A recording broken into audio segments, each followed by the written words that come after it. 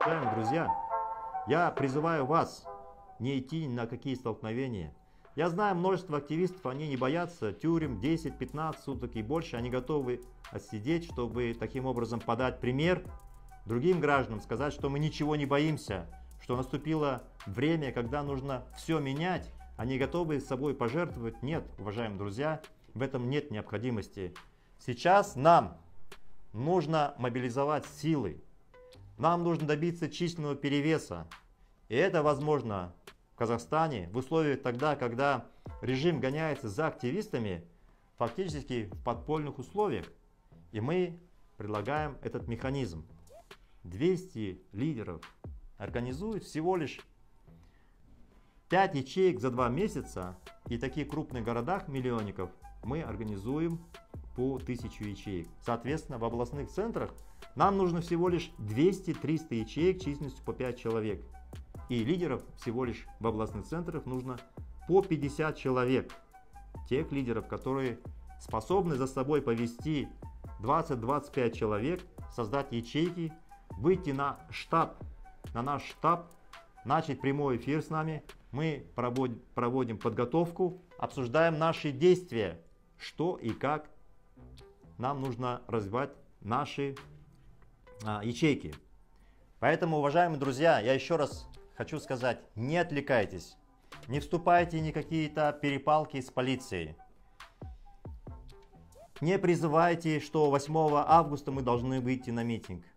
Сейчас наша задача мобилизоваться. Сейчас наша задача накопить силы, и мы в ближайшие два месяца сможем этого добиться и стремительно добиться перемен. А именно, буквально несколько митингов численностью 10 тысяч в крупных городах, 20 тысяч, затем по 50-60 тысяч и все. Буквально 3-5 выходов на такие митинги и режима нет. Многие из вас в социальных сетях сидят и комментируют. Говорят, вот, казахи такие сики, ничего не могут, слабые и так далее. Перестаньте, уважаемые друзья.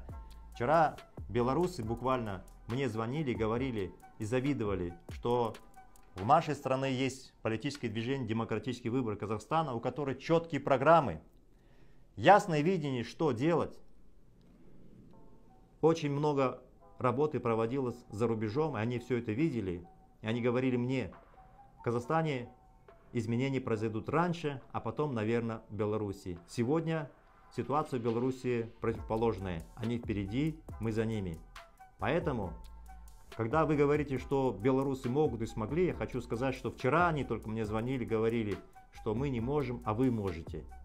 Поэтому все в наших руках. Давайте объединяться, объединяться в ячейки, не вступать в никакие мелкие стычки с полицией, с Комитетом национальной безопасности.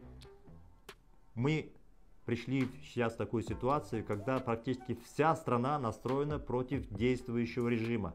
Вся страна мы добились главного. Вся страна осознала, что этот действующий режим гнилой, проворовавшийся и у нашей страны нет будущего с этим режимом. Это огромное достижение, я считаю. И осталось сделать второй шаг. Объединиться. Объединиться через ячейки. И третье, после этого организовать массовый выход на митинги по всей стране. Сейчас у нас много дел уже сделано. Мы сейчас создали большое количество ячеек, осталось их увеличить и действовать. Поэтому, уважаемые друзья, выходите на связь, выходите на связь со мной, выходите на связь со штабом. Телефоны озвучены. Есть все реквизиты, каким образом с нами связываться. Я обращ... хочу обратиться к бизнесу. Вы сейчас находитесь в тяжелейшем положении. И с каждым днем ваша ситуация будет ухудшаться. Не пытайтесь отсидеться где-то в стороне. Мы построим свободную страну, где будут возможности для развития и бизнеса, и всего другого, которое характерно для свободной и сильной страны. Подключайтесь к борьбе, помогайте активистам, финансируйте наши политические движения, мы завтра добьемся успеха. Алга Казахстан!